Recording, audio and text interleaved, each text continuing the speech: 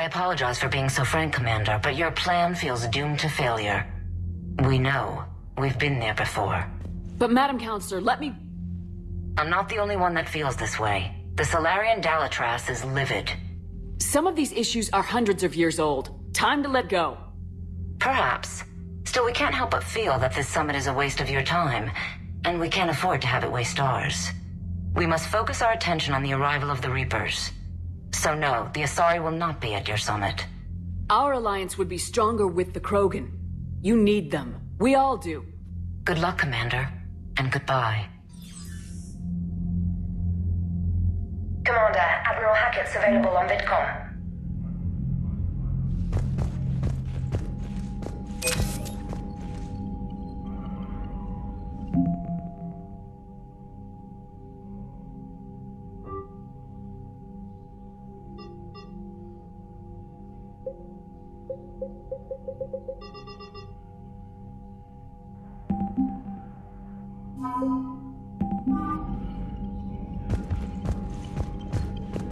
Commander, thank you for allowing me the use of your ship, and for going along with this plan. Garrus said he had to attend to the Normandy's weapon systems. Something about calibrations. This sounds like Garrus. I'm sorry to say the Asari Councilor won't be joining us. She thinks there's too much bad blood with the Krogan. She may be right, but there'll be a lot more blood. Real blood, if we don't try. And when you put it that way, the sooner we have this summit, the sooner we'll know. Is there something else I can help you with? I understand this is a difficult time for you, Primarch, but Earth can't survive without reinforcements. Can I still count on your help? If the Krogan help us on Palaven, then I give you my word. How is it being the Primarch? Not what I imagined. The battle of all time is happening on Palaven, and I'm light years away, reading casualty reports in the millions. If I'm going to die, I want to be with my men, so there's no doubt we fought to the last soul. I understand. Leaving Earth to save it. It's one of the hardest things I've ever done. I'm not surprised. Garrus speaks highly of you. You never asked to be a leader. Yet your people will die if you refuse. We find ourselves in similar circumstances. Let's hope the spirits grant us the strength to see it through. How are things on Palaven? The casualty reports are staggering. The Reapers are using our own tactics against us. Destroy the enemy with overwhelming force. I've seen the same on Earth. The strategist in me admires their brutality. The Turian in me knows I'm watching the destruction of 15,000 years of civilization. My civilization. Thank you, Primarch. My thoughts are with Palaven. And mine with Earth.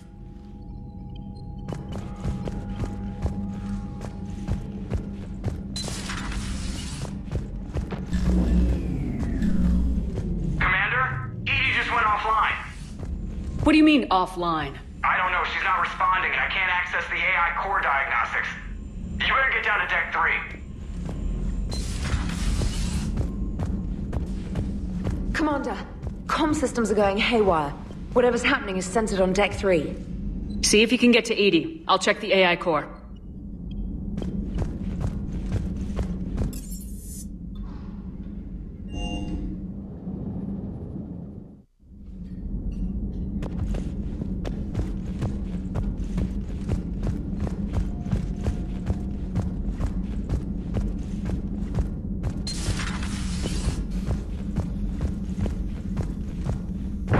Joker, what's that sound? Fire extinguishers, Commander. Could be an electrical fire, or something.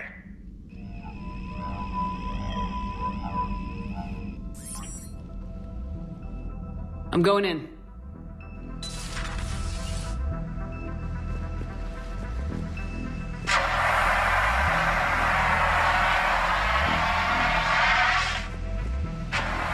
EDI, talk to me.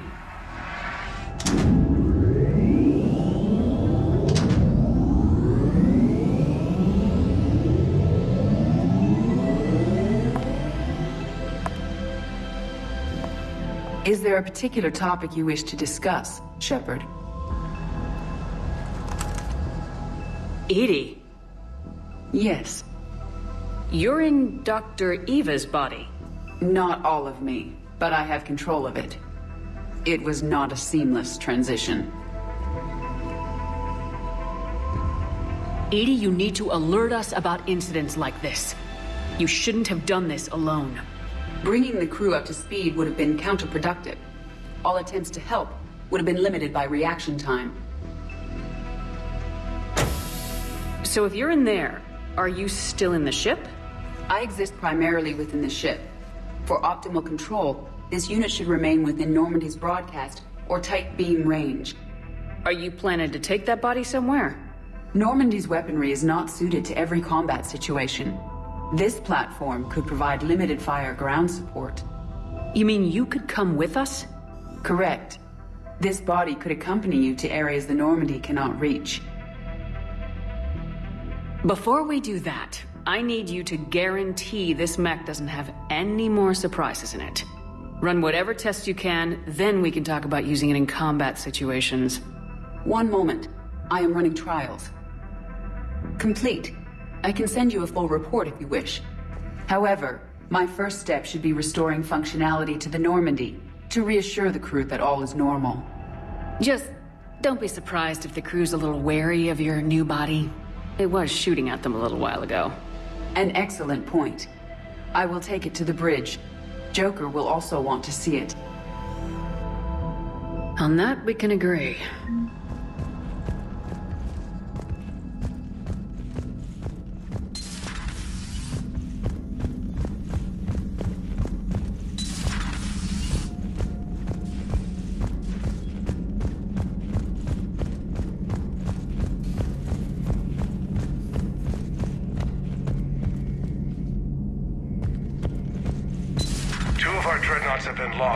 Matter of hours. I know, Primarch. I'm seeing the same numbers myself. They don't look good. We have to turn this around, and fast. Well, you can trust Shepard, sir. If anybody can get the Krogan to cooperate, it's her. I'm counting on it. Turning to the Krogan is either the best or worst idea I've ever had. There's no in between here. You did what you had to. I would have taken the same risk, sir. I appreciate your confidence, Garrus, though it could just mean we're both idiots. that will be all. Garrus, didn't waste any time getting to work, I see. After what I've been through lately, calibrating a giant gun is a vacation. Gives me something to focus on. We're gonna need you for more than your aim. Oh, I'm ready for it. But I'm pretty sure we'll still need giant guns. And lots of them. What you saw back on Palaven is proof of that. Still not convinced I should have left it behind. There was a boy back on Earth. Couldn't have been more than six or seven. I watched him die as the Normandy escaped the attack. Somehow I'm still alive. And he's not. Being right about the Reapers has never felt much like a victory, has it? We both knew this fight would be tough. Damned if the Reapers haven't delivered. At least my government listened to me. Or pretended to. They finally gave me a task force as a token to shut me up. So, you're their expert advisor now? Just followed your example, Shepard. Yell loud enough and someone will eventually come over to see what all the fuss is about. And not that they'll actually do anything about it. Until hell shows up at their door. Then they put you in charge. Not like the old days, is it? Rogue Spectre and C-Sec agents running and gunning outside the lines, making it up as we went along. We're actually respectable now. Yeah. I have a feeling that respect comes with a lot of sleepless nights. I can't even count how many lives are depending on us, Garrus. Well, when things are looking grim, and I'm pretty sure they will, just remember, a certain Turian friend of yours isn't sleeping any better, and he'd be more than happy to meet you at the bar and drink you under the table.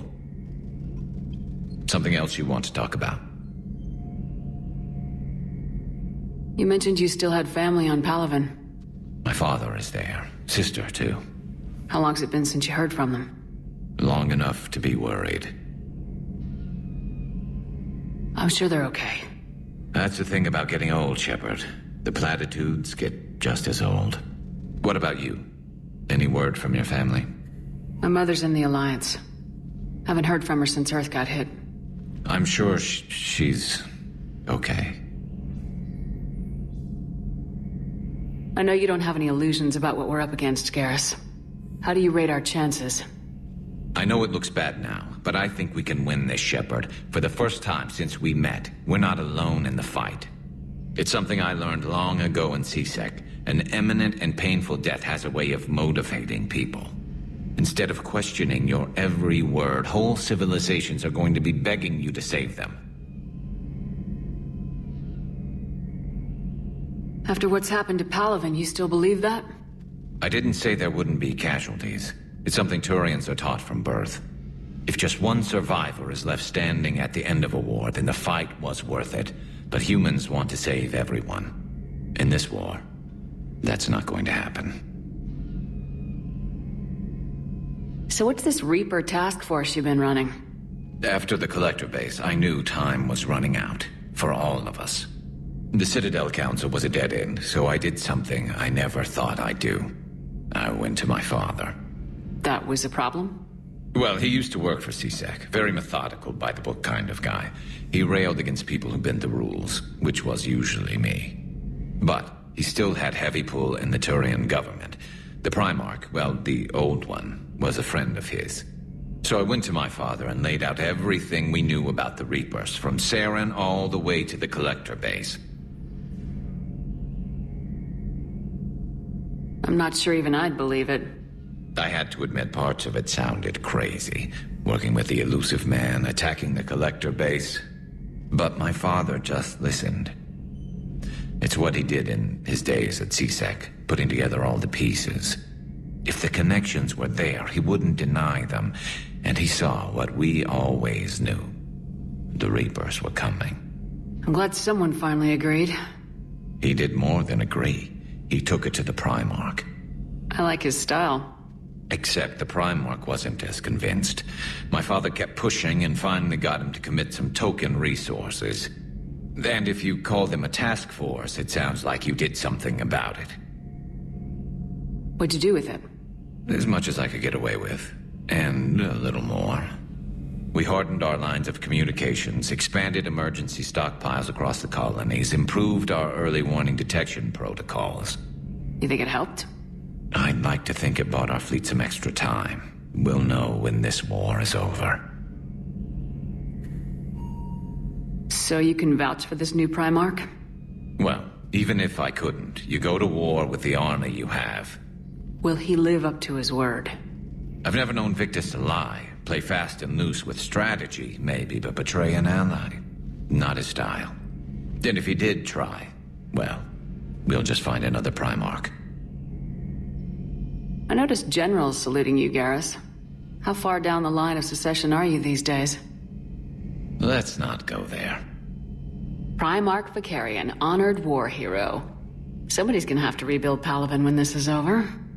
Yeah, somebody who knows how to hold a hammer. That's all for now, Garrus. It's damn good to have you back. Wouldn't miss this fight for anything. Now, I'm sure somebody screwed up something down here. I want to get the old girl back in fighting shape.